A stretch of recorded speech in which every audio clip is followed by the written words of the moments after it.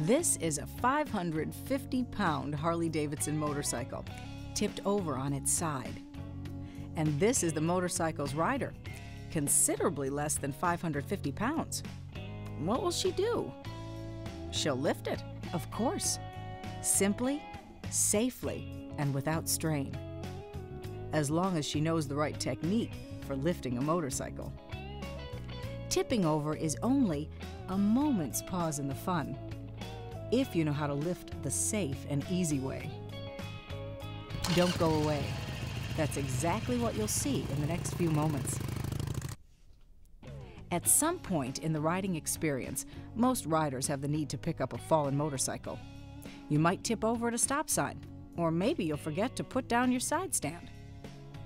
The first thing to do when this happens is to look around. Is there somebody else who can help?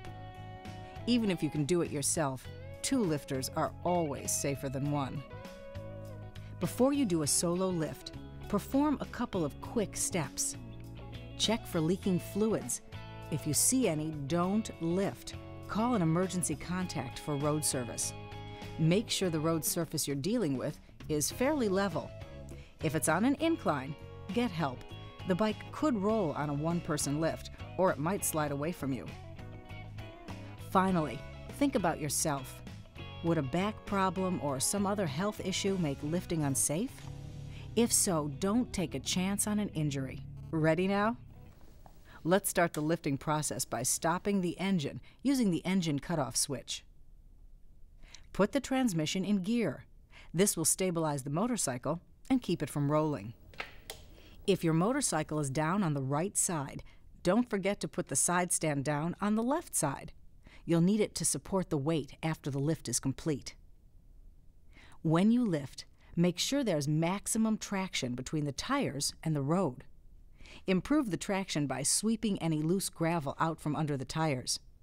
Also, remove excess gravel from under your feet for a firm footing during the lifting process.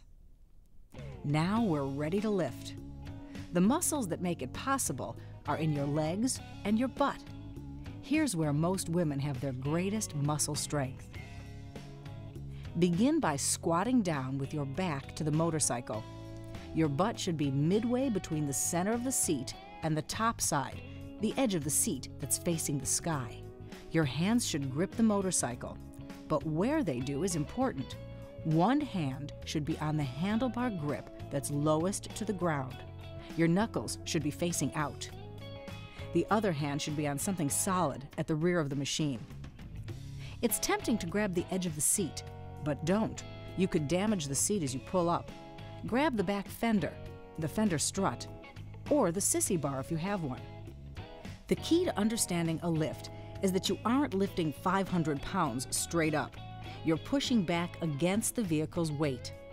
Much of the work is being done by your butt pressing against the top edge of the seat. The position of your feet also makes a difference in the strength of your lift. For some body types, it works best to keep the feet side by side. Others find it best to put one foot in front of the other. Find the combination that provides the most leverage and is most comfortable for you. It's good to get started with a slight rocking motion rather than a single mighty jerk. The momentum you build by rocking helps to lift the motorcycle up. Remember to push backward with your leg and butt muscle don't rely on your back and arms. The first 45 degrees of the lift are the biggest accomplishment.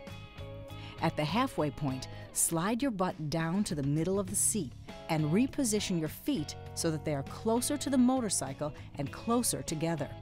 Walk backwards toward the motorcycle with baby steps, continuing to push your butt back into the seat. Keep going until you walk the motorcycle back to an upright position. Finish the job by pushing the bike just past 90 degrees, resting it down on its side stand. Don't worry, the side stand will easily hold up the weight. These directions cover a motorcycle down on its right side. If you're down on the left, the steps are the same until the motorcycle is upright. On a left side lift, just before you reach an upright position, use the heel of your boot to move the side stand into place, then rest the motorcycle down onto it. The other option is to slowly and carefully turn your body around so you can grip both hand grips and put the side stand down with the toe of your boot. Is lifting a Harley Davidson easy? It takes a few moments of work, but it's far from impossible when you use the right technique. And the reward is definitely worth it.